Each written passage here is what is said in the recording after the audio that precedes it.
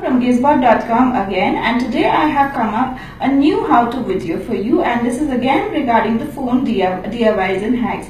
So uh, let's go ahead. Today as you can see I am going to show you first how to make a stand, a phone stand out of a sunglass and second I'm going to show you how to make a tripod out of a water bottle. So let's go ahead for with our first how to. So here I have a sunglass with me now I'm going to show you how I can make a quick and easy phone stand out of this. So what I have to do is I have to keep my sunglass like this and then I have to make a particular angle and then I can keep my phone on this very easily.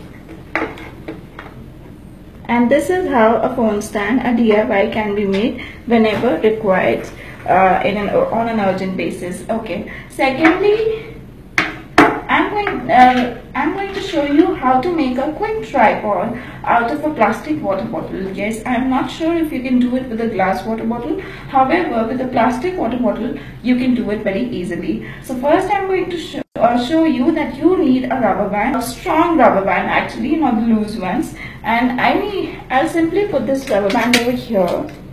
And here I'll take a phone and I'll simply half of the phone I'll insert over here and see how quickly I made a tripod which can record me out of a water bottle and a rubber band.